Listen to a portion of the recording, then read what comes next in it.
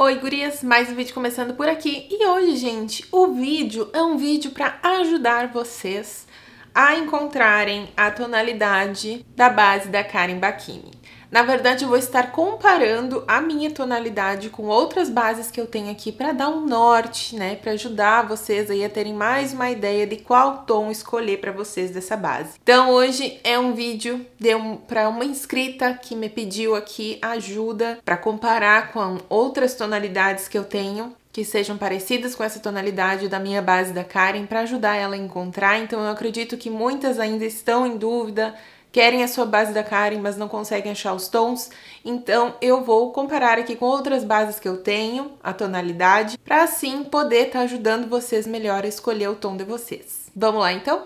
Tá, gente, o negócio é assim, ó. Eu já tenho um vídeo de primeiras impressões dessa base aqui no canal. Eu tenho um vídeo de resenha completa dessa base, com testes, com durabilidade e tudo mais sobre ela. É uma base que eu gostei muito, que eu tô usando direto. E deixa eu falar para vocês uma coisa. Quando eu comprei a minha base, eu peguei duas tonalidades. Quando chegou a minha primeira cor, eu já vim direto porque eu estava ansiosa e queria muito mostrar para vocês que é a C01Q, tá? Ela tem o subtom quente. O meu subtom da minha pele, gente, vou dizer para vocês assim, ele é neutro. Às vezes, a minha pele puxa mais pro frio. E às vezes a minha pele puxa mais pro quente. Cássia, mas como isso? Alimentação. De uns tempos pra cá, a minha alimentação, gente, eu tenho ingerido muitos alimentos que têm mais beta-caroteno na composição. Ou seja, cenoura, abóbora, melão.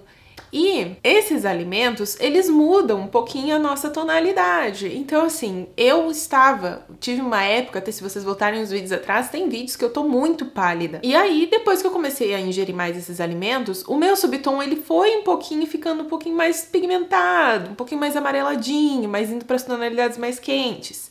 Então hoje as bases que funcionam para mim são bases com subtom neutro pro quente. Quando eu utilizo uma base rosada, ela ressalta, tanto que eu já tenho vídeos aqui onde eu utilizo base que tem o subtom mais rosado e dá bem pra ver aquele rosado destacado na minha pele, sabe? Mas mesmo assim, gente, tem partes do meu corpo que elas são mais rosadas. E tem partes agora do meu corpo que são mais quentes. inclusive meu rosto é uma delas. Eu tive inclusive que parar um pouco, gente, de ingerir esses alimentos porque eu comecei a ficar muito amarelada aqui nessa região. Aí eu dei uma segurada, agora eu voltei a ingerir de novo, né, com mais moderação. E realmente, gente, isso ajuda bastante, assim, na, na pigmentação, na tonalidade da pele, né? Mas hoje eu já sou mais amarelinha. Então, a minha pele é um subtom hoje em dia neutro pro quente. Eu fui lá e peguei a base mais clara que tinha, quente, né, com o subtom quente e funcionou perfeitamente na minha pele. Porém, eu também havia pego a base 03F, que tem o subtom frio. Essa base sozinha na minha pele eu não consigo utilizar. E aí agora eu vou começar aqui já mostrando pra vocês, gente. Eu vou colocar aqui no meu rosto, ó, as duas. Essa aqui chegou depois, tá? Não chegou junto com a, com a primeira cor que eu peguei. Ela veio depois. Aí vocês vão ver aqui, ó, como é diferente, gente. Aí eu vou mostrar pra vocês aqui no meu rosto mesmo, tá? Ó, ela é uma base mais grossinha, mas ela fica lindíssima na pele, gente. Não fica aspecto pesado, tá? Porque aqui eu dei uma exagerada pra vocês verem mesmo a tonalidade delas. Essa aqui é a 03... Ah, essa aqui é a 3F. Se ela ficasse só assim, gente, ia dar super bem na minha pele. Mas vocês vão ver que ela vai começar a secar e o negócio aqui muda de cor completamente. E essa aqui é a base que eu utilizo sozinha e funciona super bem na minha pele, tá? Então vou esperar elas secarem aqui pra mostrar pra vocês como vai ficar. Ó, gente, elas já deram uma secadinha aqui no meu rosto. Vocês conseguem ver? Deixa eu dar um zoom pra vocês. Vocês conseguem ver, ó? Essa aqui é a 3F. Como depois de seca, ela muda um pouco a tonalidade, ó.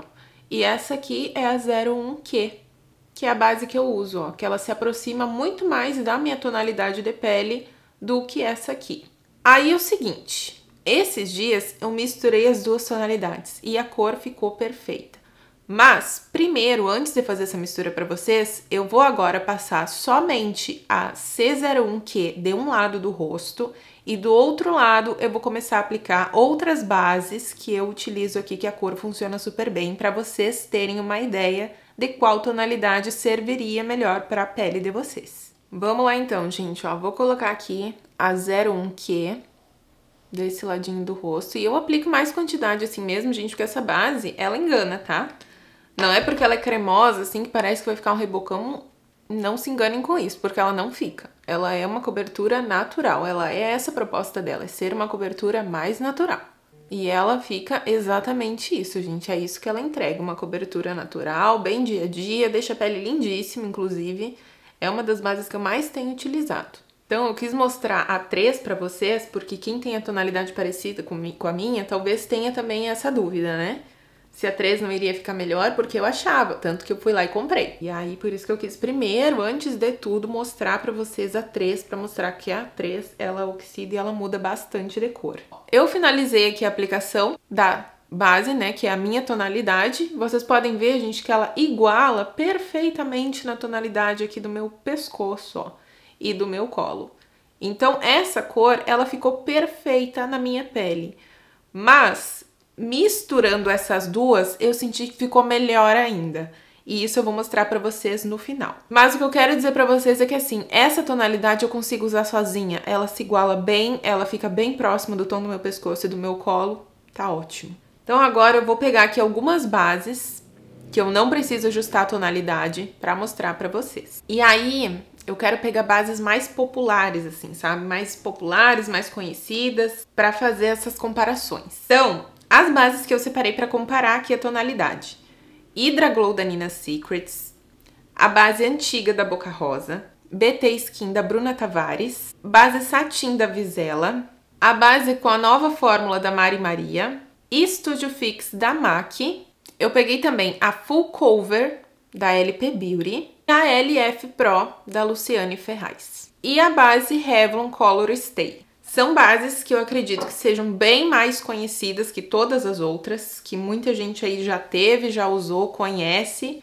Então, é por isso que eu escolhi essas bases, gente. Eu acho que são bases bem populares e vai ajudar melhor vocês a encontrarem a tonalidade de vocês. Minha base aqui já está sequinha no rosto.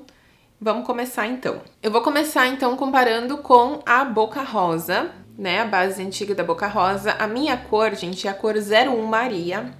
Então, vou colocar aqui do outro lado pra gente comparar. Vou pegar aqui outra esponjinha.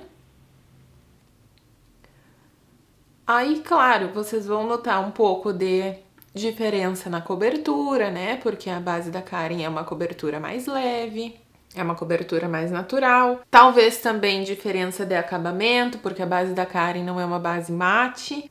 Ela é uma base que ela tem um acabamento levemente mais sequinho, mas mesmo assim fica mais hidratante na pele. Então talvez a diferença que vocês notem seja disso, tá? Desse lado tá a C01Q da Karen Bacchini, desse lado a cor 01 Maria, antiga base da Boca Rosa. Vocês conseguem ver que a tonalidade é exatamente a mesma? Eu olhando, gente, eu não vejo nenhuma diferença. Noto diferença de acabamento, né? Que tem mais esse lado da, da boca rosa, tem mais cobertura. O acabamento é um pouco mais opaco também. Mas, de tonalidade, gente, tá igual, não tem nem divisão, ó. Não tem nem divisão de uma cor para outra. Então, aqui, Karen Bacchini, aqui, boca rosa. Vamos pra próxima. Agora, gente, ó, tirei toda a base do rosto, apliquei de novo desse lado a base da Karen e desse lado agora eu vou vir com a BD Skin da Bruna Tavares. A minha cor, gente, certinha dessa base é a F30, que é um subtom mais neutro. Eu, quando eu uso essa base, eu gosto de colocar a F40 também. Pra puxar um pouquinho mais pro amarelinho, sabe? Porque essa aqui é bem neutra. Mas essa aqui eu não preciso ajustar a tonalidade dela nem nada, sabe? Se eu usar ela sozinha, ela vai funcionar perfeitamente bem.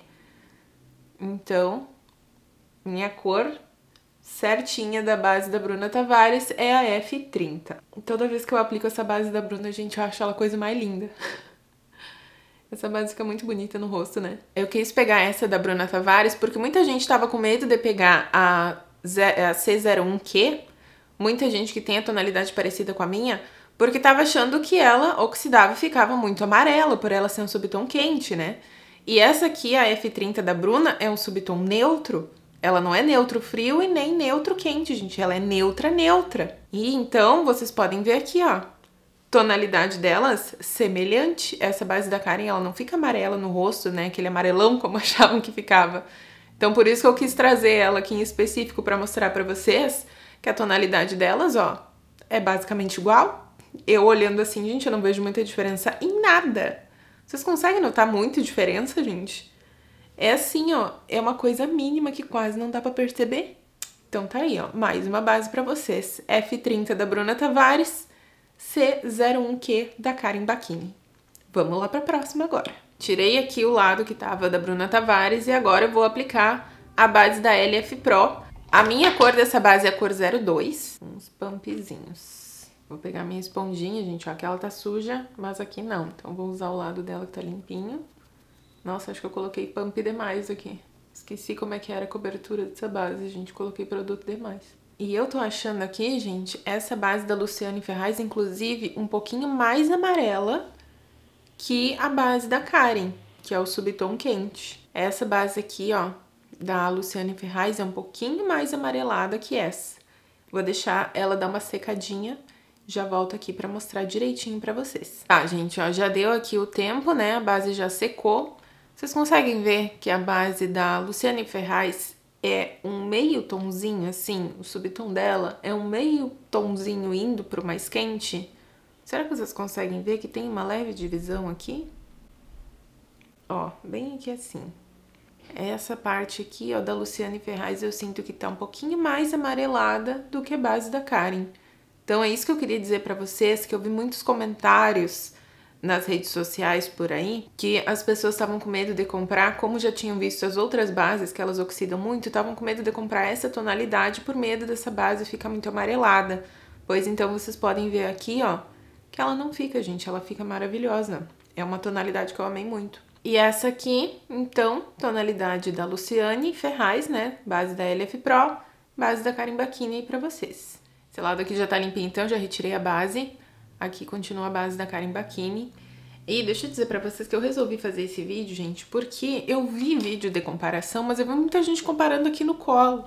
E eu não sei vocês, mas quando eu quero ver uma tonalidade de base, eu quero ver no rosto. Eu quero ver ela lado a lado com a outra. Eu entendo que esse vídeo dá um pouquinho de trabalho, gente, mas é isso que a gente quer ver, então eu digo assim, eu vou fazer. E aqui está, então, vamos para a base da Visela, base satin. A minha cor dessa base é a cor 01, então vamos lá aplicar. Eu vou aplicar essa quantidade aqui, porque essa base, ela rende bastante.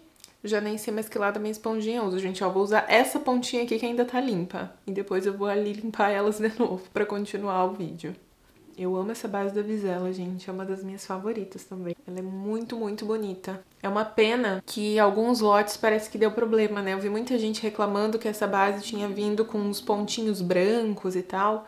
A minha, graças a Deus, não veio, gente. Mas é uma pena. Eu acho que quem passou por isso era válido entrar em contato com a marca, né? Tentar ali um contato com a marca para falar o que, o que aconteceu com a sua base e ver o que, que eles podem fazer. Que às vezes é um problema de lote mesmo, né? Essas duas bases eu acho que elas têm um acabamento muito parecido porque a base da Visela também tem esse negócio de ser uma base mais hidratante, né? Uma proposta de ser uma base mais hidratante. Essa aqui, satin, eu sinto que ela tem a mesma coisa dessa da Karen, ó. A da Karen, ela fica sequinha no rosto, sabe? Ela não fica aquela coisa hidratante que não seca.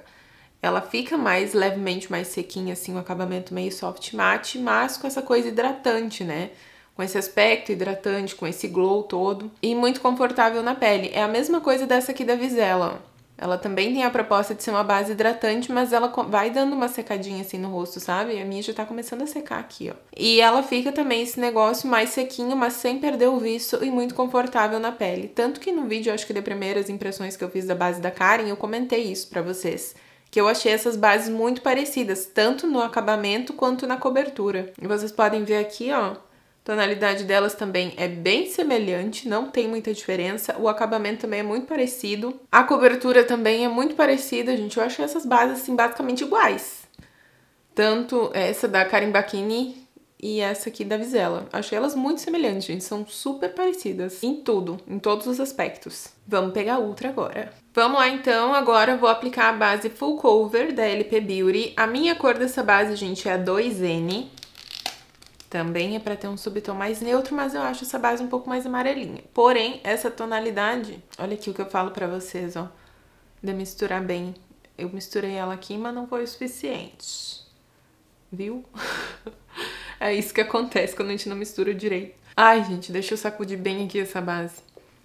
Vocês viram que os ingredientes precisam estar bem misturados, né? Pois é, um negócio na prática que eu tanto falo pra vocês aqui. Ó, essa base aqui, ela tem uma cobertura mais alta.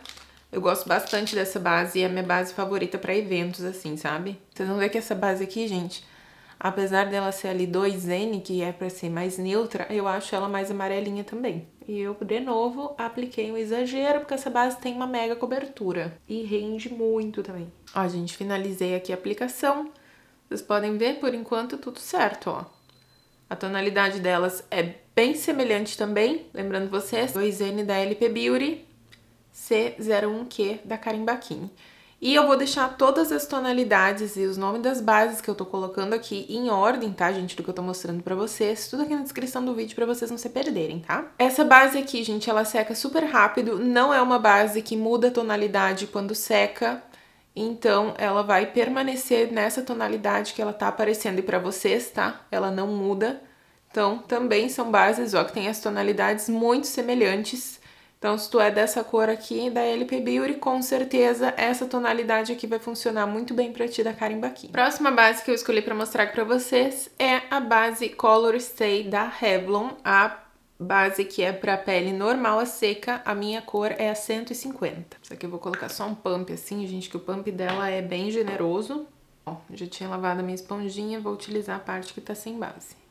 Essa tonalidade aqui dá bem certinho na minha pele. Eu gosto muito de fazer misturinha, gente, de base, de tonalidade, de acabamento. Mas hoje eu escolhi as bases que eu não preciso ajustar a tonalidade, que funcionam só elas, assim, sabe? Sem ajustar a cor nem nada. Justamente para vocês terem uma ideia melhor das cores, né? Finalizei aqui a aplicação. Essa base da Revlon também não é uma base que muda de cor quando ela seca, pelo menos essa minha aqui ela não muda a cor. Essa cor aqui que eu apliquei, que eu terminei agora de aplicar, é uma base que seca muito rápido, inclusive, ó, ela já tá bem sequinha, que tá começando a ficar bem sequinha já aqui no rosto. E a cor dela é essa, gente, ela não muda a tonalidade, ela não sobe o tom e nem baixa o tom depois que seca, tá? Então, é isso, ó. Super parecida também com a base da Karen, a C01Q. O que muda um pouco aqui é o acabamento das duas, mas tonalidade muito semelhante também. A base que eu escolhi agora foi a base da Mari Maria, a Velvet Skin, e a minha cor é a bege claro 1. Também é uma base maravilhosa e essa cor funciona bem na minha pele. Ó, eu dou umas escadas assim. Essa base aqui da Mari Maria, eu gosto muito dela, dessa nova fórmula. A primeira fórmula eu não gostava de jeito nenhum. Nossa, eu tinha pavor, gente, da outra fórmula. Eu achava muito seca e muito pesada, mas essa outra aqui é linda demais, essa base. Muito confortável e muito bonita na pele. Mas essa bege claro 1 eu já acho também que é um pouco mais amarelada, levemente mais amarelada que a base da Karen, ó, que é um subtom quente. Essa base da Mari Maria também é uma base que não muda muita coisa depois que seca. E ela seca bem rapidinho, eu vou esperar aqui um pouquinho ela secar para vocês terem uma ideia melhor. Ó, gente, a base aqui já secou. A tonalidade também é muito semelhante. É uma leve diferença assim, gente. Olha aqui. Eu tô olhando aqui no espelho. O que eu noto é que parece que essa base da Karen é levemente mais clarinha, na verdade, né? As duas têm o subtom mais amarelinho. A da, Karen, a da Karen aqui no meu rosto tá assim, ó. Menos de meio tom mais claro. pouquíssima diferença de uma tonalidade para de uma tonalidade para outra. Então, quem é a cor bege claro 1 da Velvet Skin da Mari Maria, essa cor vai funcionar também. Então tá aí para vocês, ó, as duas bases. Vou agora para base Hydra Glow da Nina Secrets, que eu amo essa base simplesmente. A minha cor dessa base é a 00, mas, gente, eu já adianto para vocês que ela só fica exata, exatamente no tom da minha pele no verão. Fora isso, ela às vezes fica um pouquinho mais amarelinha no meu rosto. Mas vamos ver aqui, né? Esses dias eu peguei um sol e com a minha alimentação que eu disse para vocês está mais rica em alimentos que ajudam ali na tonalidade da pele, que influenciam diretamente na tonalidade da pele, pode ser que ela esteja funcionando melhor para mim agora. Ela ficou bem certinha no tom da pele, ó. Ficou bem certinho no tom da minha pele. Essa base aqui também eu não sinto que ela muda a tonalidade depois que ela seca e na verdade ela nem seca muito, né, gente? Porque ela fica com esse acabamento bem glow, bem hidratante mesmo. Tá aqui, ó, tonalidade 00 da Nina Secrets e a C01Q da Karen Bakini. Eu acho as tonalidades dela muito semelhante o que dá uma interferência aqui é o acabamento, né? Aqui como tá batendo a luz, vocês vão ver que essa base aqui da Nina, ela reflete mais porque ela tem mais hidratação, né? Ela tem esse acabamento mais hidratante. Então a única coisa que muda é isso, mas a tonalidade, gente, é a mesma coisa, mesma coisa. O que muda aqui é só o acabamento. A cor está basicamente igual. Já vou comentar que também tinha gente com dúvidas se essas bases eram parecidas. Eu não acho que elas sejam parecidas, tá? Na questão de cobertura, sim, são coberturas mais naturais. Mas em acabamento elas são diferentes. A base da Karen ela fica mais sequinha no rosto, ó. ela tá uma base sequinha aqui, porém tem essa proposta de ser hidratante, né, gente? Mas não é uma base que fica molhada no rosto, sabe? A base da Nina já é uma base que ela não seca completamente. Fica mais hidratante assim no rosto mesmo. Então essa é a diferença das duas. Mas essas tonalidades aqui que eu tô no rosto são muito parecidas, só o que muda é o acabamento delas, né? E a última base, gente, é Studio Fix da MAC na cor NC10 da nova fórmula, tá? Da Studio Fix. Então, ó, vou colocar... Ah, vou colocar dois pumps. Ah, essa menina, vamos exagerar mesmo. Ai, gente, é isso. Ó, essa aqui, ela muda um pouquinho a tonalidade depois que ela seca. Quando eu tô aplicando assim, parece que vai dar muito ruim. Mas não se engane. Depois que ela seca, ela fica bem certinha na pele. Que essa da MAC aqui, ela muda, gente. Ela dá uma oxidada. Essa nova fórmula, ela não oxida tanto, ela não muda tanto a tonalidade quanto a fórmula antiga. A fórmula antiga da Studio Fix mudava demais a tonalidade, gente, quando secava. Eu sei porque quando eu atendi eu utilizava muita base da MAC para atender, porque realmente ela tem um acabamento mais profissional, é uma base que funciona para quase todos os tipos de pele, sabe? Então é uma base muito boa para atendimento profissional, mas ela muda muito a tonalidade, assim, mudava, né? A base antiga mudava muito a tonalidade depois que ela secava. Essa aqui ela seca e parece que meio que adapta, assim, sabe? Mas ela não muda muito quanto a fórmula antiga. A fórmula antiga, depois que secava, nossa, ficava super amarelada. Aí uma coisa que eu já tinha comentado com vocês é que essa nova fórmula da MAC, além dela não oxidar demais, não mudar o tom depois que ela seca, Outra coisa que eu senti é que os tons vieram um pouco mais neutros, não tão amarelados como era antes, sabe? Já deu uma terminada aqui, já tá quase sequinha essa base tom dela vai ficar mais ou menos isso. E olhando assim, eu até acho ó, que a tonalidade da Karen tá melhor pra mim do que essa aqui. Essa aqui eu ainda sinto que tá um pouquinho mais clarinha, sabe? Mas as duas, ó, também é pouquíssima diferença de tonalidade uma para outra. O acabamento também é até quase meio parecido, né? Só que essa aqui já é uma base um pouco mais mate do que essa da Karen, né? Da Karen já é uma coisa mais hidratante mesmo, porém com acabamento sequinho que eu falei 300 vezes aqui no vídeo. Mas então é isso, gente, ó. Finalizamos aí a comparação de tonalidades com essa base da MAC. Eu espero que esse vídeo tenha te ajudado bastante, caso tu esteja com muita dúvida de que tonalidade pegar dessa base da Karen, porque eu acho que é uma base que vale muito a pena, gente, eu gostei bastante dela, principalmente para usar durante o dia. Eu tenho resenha completa dessa base aqui no canal, é uma base que eu fiz teste de água também, achei que resistiu. Claro que tudo vai depender também, gente, da tua preparação de pele, que eu sempre bato nessa tecla, que é o principal sabe? Não adianta tu fazer uma qualquer preparação de pele e achar que a tua base vai resistir, porque não vai. Se tu utilizar aqueles hidratantes que são sérum, que são mais aguadinhos e vir borrifando água depois por cima da tua base, ela vai escorrer. Não adianta, ela vai escorrer. O hidratante, gente, que eu mais indico para vocês na preparação de pele, na verdade eu vou indicar alguns aqui. Até vou selecionar eles aqui para mostrar para vocês. Os hidratantes, gente, que eu gosto assim, que funciona na maquiagem, sabe? Que eu garanto que tu vai ter um resultado bom. O hidratante suave esse aqui, hidratante suave da Daisy Peroso, é um hidratante excelente, perfeito para utilizar na tua pré-maquiagem. Outro hidratante muito bom para isso, Hydra Glam da Call Beauty. Também é um hidratante maravilhoso para hidratação pré-maquiagem, tá? Esses hidratantes aqui, gente, eles podem ser usados caso tu não vá usar maquiagem, tá? Eles trazem benefícios para a pele. Mas antes de tu aplicar a tua base, esses hidratantes que eu tô mostrando para vocês, eles funcionam muito bem. São hidratantes pensados no acabamento final da maquiagem. Então, por isso que eu indico eles para vocês, tá? Outro hidratante da Daisy Peroso que eu gosto muito, gente, é o Hydra Blend Mais. Também deixa um resultado muito bonito.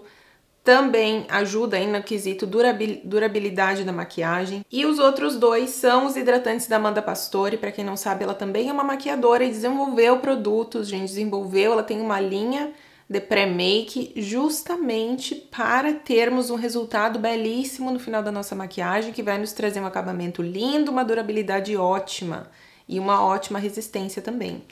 Então, o Blank Cream, eu gosto muito, muito desse hidratante aqui.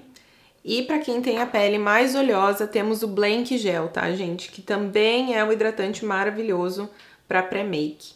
Então, esses são os hidratantes que eu indico para vocês de olhos fechados que o resultado vai ser bonito. Mais uma vez, não adianta tu fazer uma preparação de pele com produtos que não vão combinar, não vão dar match ali com a tua base e depois vir tirando um monte de água em cima, ou pegar chuva, ou chorar, ou qualquer coisa do tipo que a tua base não vai aguentar. Primeiro passo para te ter um resultado bonito da tua maquiagem, primeiro passo para te ter uma durabilidade boa, uma resistência boa é o que vem antes da base e não a base em si. Então, gente, agora eu vou tirar isso aqui e vou aplicar só a base da Karen misturando as duas tonalidades para vocês, que foi o que eu mais gostei, gente. Eu gostei muito dessa aqui, eu consigo usar ela sozinha, fiquei muito satisfeita. Mas como eu tinha comprado essa aqui também, porque não sabia o que, que ia funcionar pra mim, eu tenho que usar ela, né? E eu misturei as duas e gostei muito do resultado, então eu vou misturar, mas tu não precisa, caso tu tenha tonalidade parecida com a minha, tu já sabe que só a C01Q funciona perfeitamente bem, não faça louca e compre duas bases que nem eu fiz.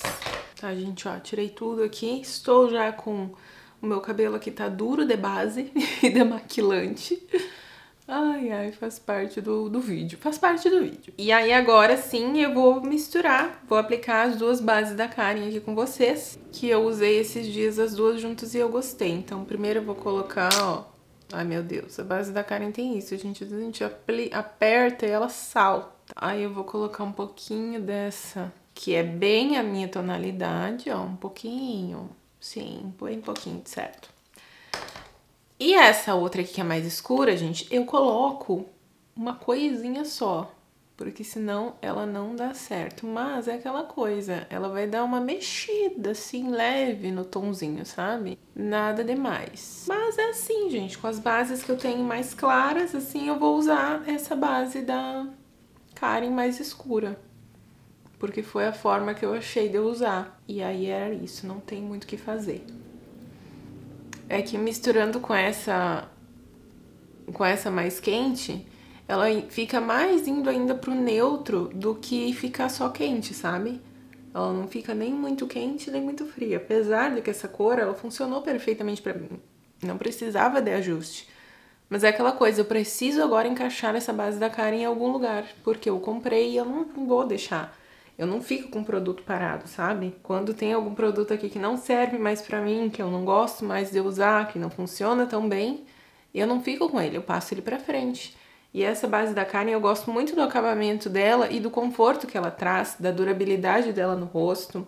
Gostei muito da cobertura dela também. Eu achei uma base muito, muito natural, sabe?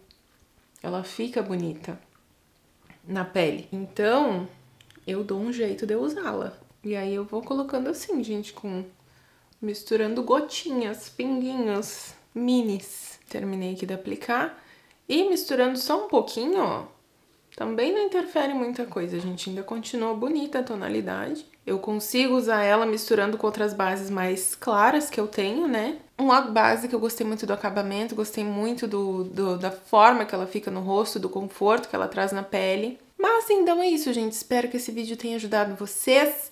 Lembrando mais uma vez, se tu é novo, não esquece de te inscrever e deixar o teu joinha aqui pra mim.